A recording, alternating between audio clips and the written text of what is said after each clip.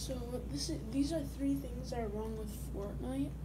So first of all, your your typical 50 AE Desert Eagle, if a teenager shot like that, then that would most likely snap their wrist and it would go flying. Maybe even give them a concussion because it hit their head.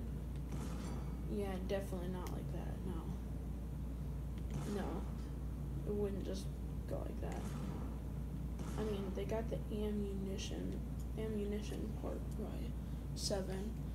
Seven plus one is a Desert Eagle. It's good. And then moving on to the number two. Um, a, a big, you know, your typical 12 gauge, of course. So, um, if you shot a 12 gauge, that is just massive. I mean, a 410 bore has about the same recoil as a 44 Magnum.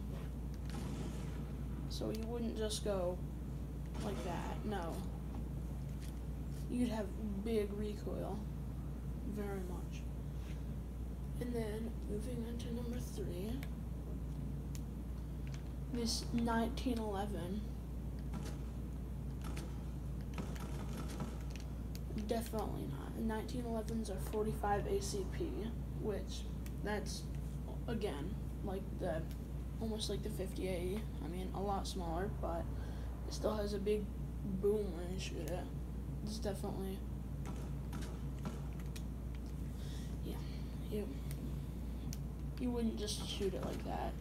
That was like a nine nine millimeter or a 22. Yeah, no, you wouldn't just do that. Mm-mm. So, those are three th- things that are wrong with Fortnite. And please leave a comment below what you want the next video to be about. And bye.